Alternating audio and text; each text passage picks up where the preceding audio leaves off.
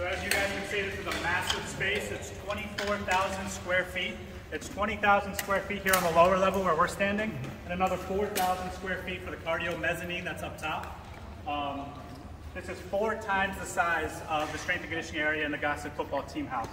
It's one of the biggest in the Big Ten. At the time of construction, it actually was the biggest. Um, currently, it's one of the biggest in the Big Ten. Um, if you guys look above you, there's a really cool architectural feature. The, um, the bow truss arcs mirror the bow truss arcs that were in the original Cole Fieldhouse design. So the original Cole had three bays added to extend the length of the original facility so that it could fit a full-length football field. And these arcs in here mirror that, so it's a really cool architectural feature. So we're back here live in College Park. It only took about a year, Bruce. Um, what's your impression so far of Cole Fieldhouse and, and this rebuild? 24,000 square feet with a 40-yard dash area, facial recognition so the coaches can see everything that's going on. It's mm-hmm. incredible. Absolutely incredible. And we're just starting. Better than the gym at Woodhome?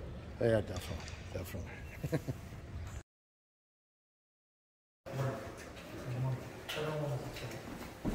So this area has all of our helmets dating back to the 19th. So guys that are just getting through, this is just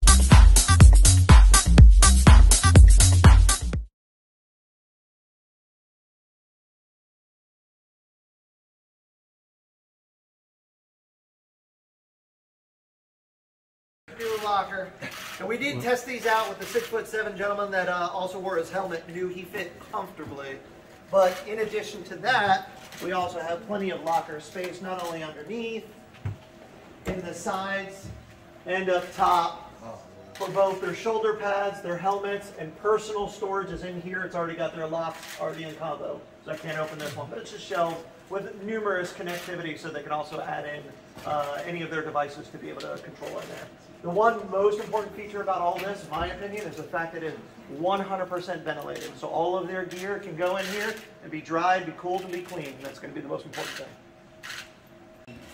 Pretty impressive technology here in this locker room. It's got to be one of the one of absolutely the, the best, the best I've ever seen. But that doesn't count for that much. But This place is amazing.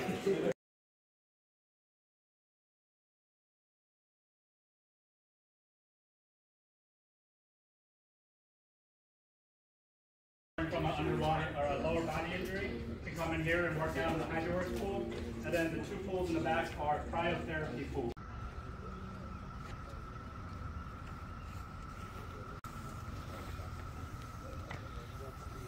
All right,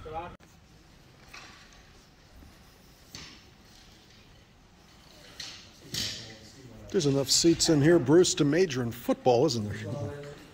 Holy cow.